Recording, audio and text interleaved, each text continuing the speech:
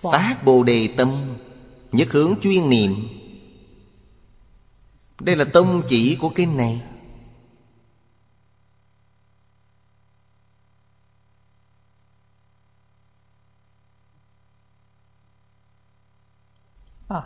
Đã phát đại tâm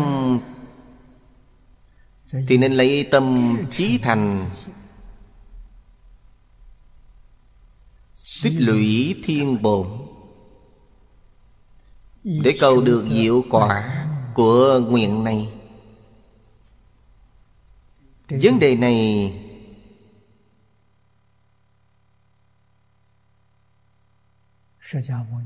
Đức Thế Tôn đã từng biểu diễn cho chúng ta thấy.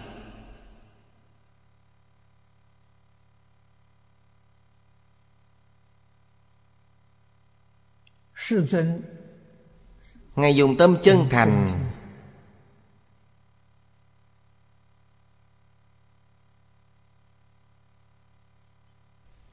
Biểu diễn suốt 49 năm.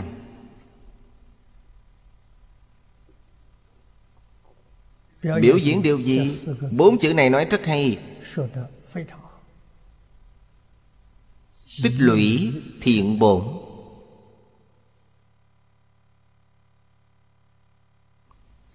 Khi mình khai ngộ rồi Thì không còn là chính mình nữa. Biện pháp giới hư không giới là chính mình. Người khác không biết. Nhưng bản thân Ngài rất rõ ràng. Bồ Tát không biết. Nhưng tất cả chư Phật Như Lai đều rõ ràng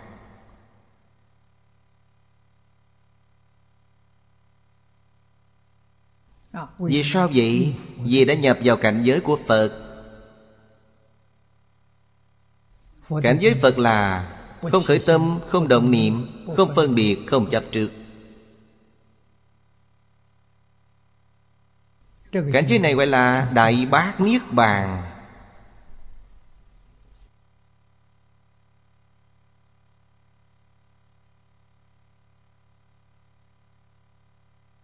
Tịch tịnh Niết Bàn. Từ trong tịch tịnh Niết Bàn Sanh khởi đại từ đại bi. Phổ độ chúng sanh. Đây gọi là đại thừa. Trong Niết Bàn Không sanh đại từ đại bi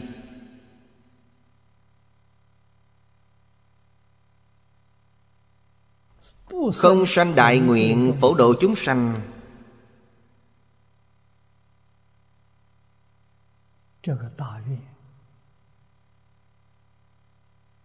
Như vậy không gọi là Bồ Tát Mà gọi là Tiểu Thừa.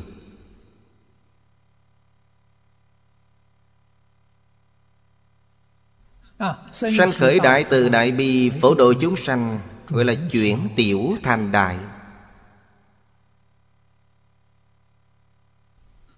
Niết bàn của tiểu thừa Là thanh tịnh tịch diệt, Chỉ đoạn kiến tư phiền não.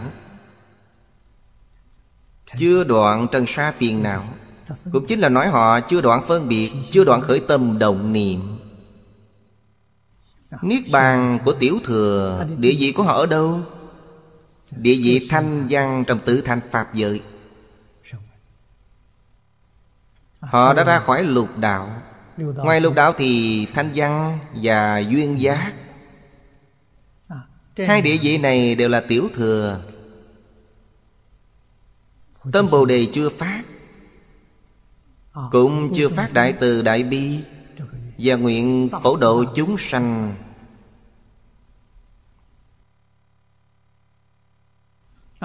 Đến khi nào mới có thể phát Viên giáo sơ trụ trong kinh Hoa Nghiêm. Thật sự Đã buông bỏ khởi tâm động niệm. Khởi tâm động niệm chính là căn bản vô minh. Buông bỏ nó Mười pháp giới liền biện mực Mười pháp giới là giả. Chỉ là một giấc mộng. Buông bỏ mộng liền tỉnh lại ngay Tỉnh lại là nhất chân Pháp giới. Là quái thật báo trang nghiêm. Địa vị thấp nhất trong cõi thật báo trang nghiêm là sơ tịnh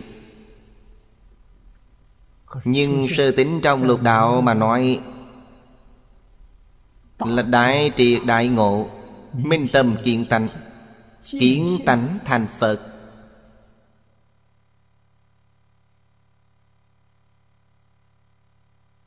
Lúc này thật là chuyển nhỏ thành lớn. Họ có đại từ đại bi. Có đại nguyện phổ độ chúng sanh. Có tâm từ bi chịu khổ thay chúng sanh.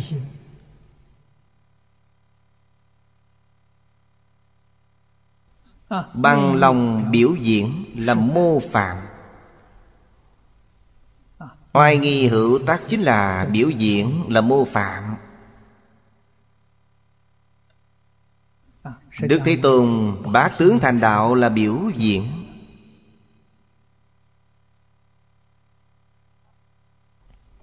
Cần tu giới định tuệ, Diệt trừ tham sân si.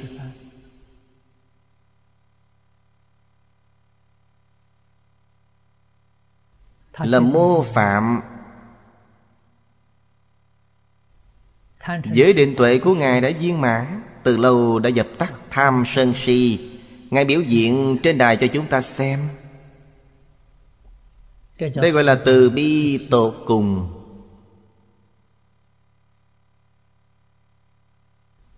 Bởi thì Người phát tâm Bồ Đề nhất hướng chuyên niệm Đã phát đại tâm Tức dùng tâm trí thành Để biểu diễn Tích lũy gốc thiện. Gốc thiện là gì?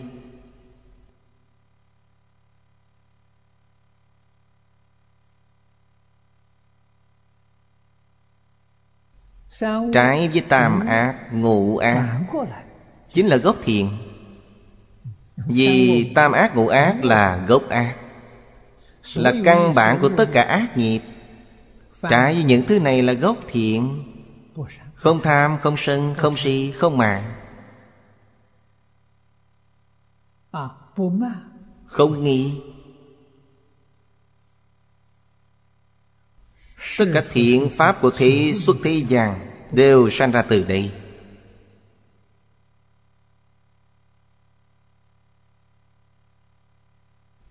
Tâm chúng ta dụng rất trong sáng vốn là thanh tịnh. Ngài Huệ Năng nói rất hay Hiện nay vẫn trong sáng Vẫn thanh tịnh. Xưa này chưa từng ô nhiễm. Giống như là bị nhiễm ô Kỳ thực không có. Nhiễm ô là ai? Là A Lại Gia. A Lại Gia bị nhiễm ô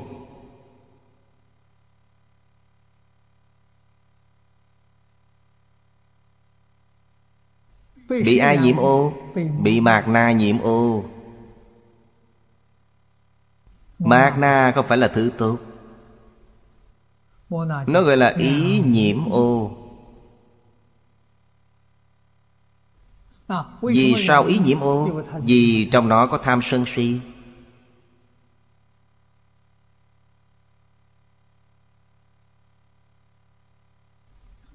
Trong kinh luận Duy Thức nói Tứ đại phiền não thường tương tùy.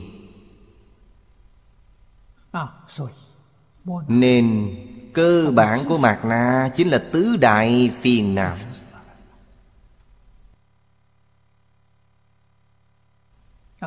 Đầu tiên là ngã kiến. Mạt na là ngã chấp. Ngã kiến Chấp trước một phần, kiến phần của A Lại Gia Kiến phần của A Lại Gia là vô lượng, vô biên. Vô số, vô tận. Nó chỉ chấp trước một phần.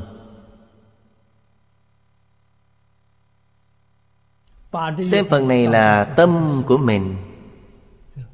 Đây là vọng tâm.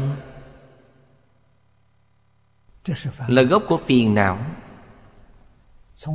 từ đây giấy khởi lên điều gì? Ngã ai? Quý vị xem có cái ta ngã kiến liền sinh ra ngã ai? Ngã ái là tham?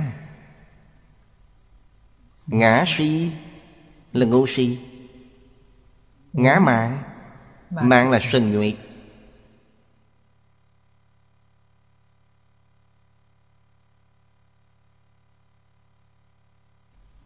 Kiến ai si mạng. Bốn đại phiền não này thường tương tùy không gián đoạn. Nếu như đoạn tận bốn đại phiền não này không còn nữa, Chuyển mạc na thành bình đẳng tánh trị. Đây chính là Pháp thân Bồ Tát. Pháp thân Bồ Tát Chuyện bát thức thành tự trị. Siêu diệt mười Pháp giới. Không ở trong mười Pháp giới nữa.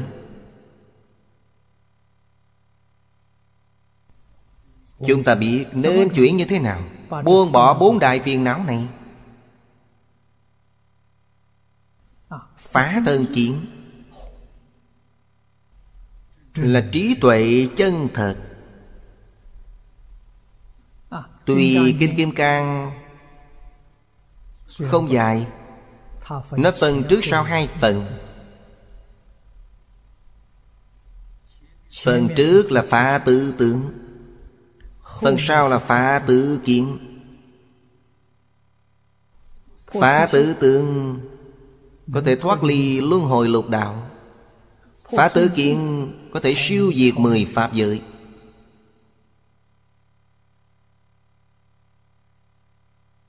Nửa bộ sau của Kinh Kim Cang là nói Vô ngã kiến Vô nhân kiện Vô chúng sanh kiện Vô thọ già kiện đã phá tứ kiện phá tứ kiện là viên giáo sơ trú bồ tát. Còn phá tứ tướng là tiểu thừa tu đà hoàng bắt đầu phá tứ tướng.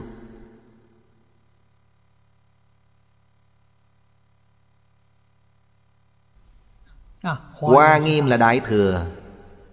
Sơ tín dị trong thập tín dị Họ đã phá phiền não.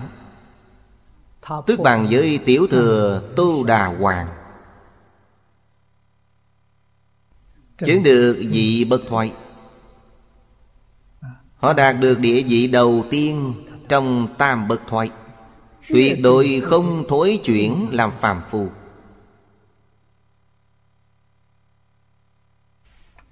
Họ thật sự là đệ tử Phật.